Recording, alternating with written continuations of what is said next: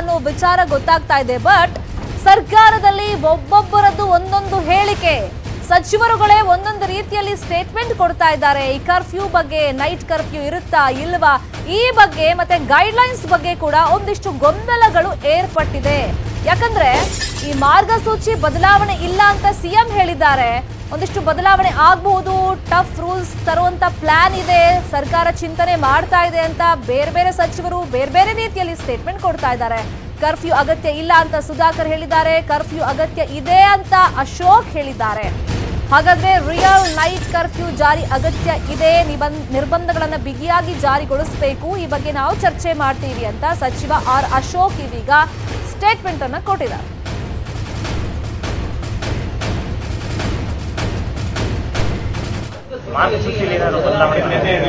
ಈಗಿರೋ ಪ್ರಕಾರ ಯಾವುದೇ ಮಾರ್ಗಸೂಚಿಯಲ್ಲಿ ಬದಲಾವಣೆ ಯಾವುದಿಲ್ಲ ಡೆಲ್ಲಿನೇನಾದ್ರು ಸೂಚನೆ ಕೊಟ್ಟರು ನೋಡೋಣ.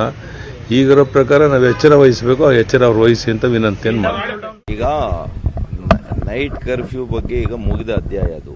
ಈಗಾಗಲೇ ಮಾನ್ಯ ಮುಖ್ಯಮಂತ್ರಿಗಳು ಅದಕ್ಕೆ ಸ್ಪಷ್ಟವಾದಂಥ ಒಂದು ಅಂತಿಮವಾದಂಥ ಅಂಕುಶವನ್ನು ಹಾಕಿದ್ದಾರೆ. ಈ ಬಾರಿ ಇರೋದಿಲ್ಲ ಅಂತೇಳಿ ಆದರೆ ಹೊಸ ವರ್ಷದ ಆಚರಣೆಯನ್ನು ಯಾವ ರೀತಿ ಬಿಗಿಯಾಗಿ ಮಾಡಬೇಕು?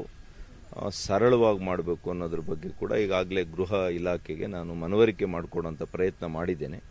ಬಹುಶಃ ಅವರು ಅದನ್ನು ಅರ್ಥ ಮಾಡ್ಕೊಂಡು ಸರಿಯಾದಂಥ ರೀತಿಯಲ್ಲಿ ಅದನ್ನು ಅನುಷ್ಠಾನಕ್ಕೆ ತರ್ತಾರೆ ಅಂತ ತಿಳ್ಕೊಂಡಿದ್ದೀನಿ. ಅಲ್ಲ, ಏನೇ ಕರ್ಫ್ಯೂ ಎಲ್ಲ ಮಾಡಿದ್ರೂ ಕೂಡ ಸರಿಯಾದಂಥ ರೀತಿ ಮಾಡಬೇಕು.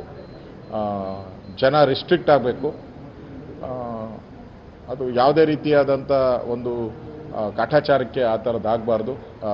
ರಿಯಲ್ ಕರ್ಫ್ಯೂ ರೀತಿ ಮಾಡುವಂಥದ್ದಕ್ಕೆ ಮುಖ್ಯಮಂತ್ರಿಗಳ ಜೊತೆ ನಾನು ಚರ್ಚೆ ಮಾಡ್ತೀನಿ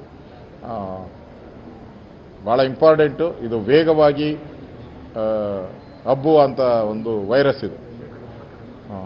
ಆದ್ದರಿಂದ ಇದ್ರ ಬಗ್ಗೆ ಇನ್ನಷ್ಟು ಜಾಗೃತೆಯಿಂದ ಇರತಕ್ಕಂಥದ್ದು, ಜನಸಾಮಾನ್ಯರ ಕರ್ತವ್ಯನೂ ಇದೆ. ಸರ್ಕಾರನೂ ಕೂಡ ಅದಕ್ಕೇನು ನಿಬಂಧನೆಗಳೇನಿದೆ ಆದಷ್ಟು ಶೀಘ್ರವಾಗಿ ಮುಖ್ಯಮಂತ್ರಿಗಳ ಜೊತೆ ಚರ್ಚೆ ಮಾಡಿ ಹೊರಡಿಸುವಂಥ ಕೆಲಸವನ್ನು ನಾವು ಮಾಡ್ತೀವಿ.